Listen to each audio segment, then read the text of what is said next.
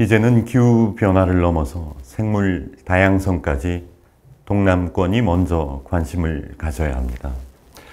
지속 가능한 미래를 만들기 위해 아름답고 건강한 지구를 미래 세대에게 물려주기 위해서입니다. 저희 투어지도 사람과 자연이 공존하는 세상을 만들기 위해서 도시민의 이동의 환경을 혁신하는데 최선을 다하겠습니다.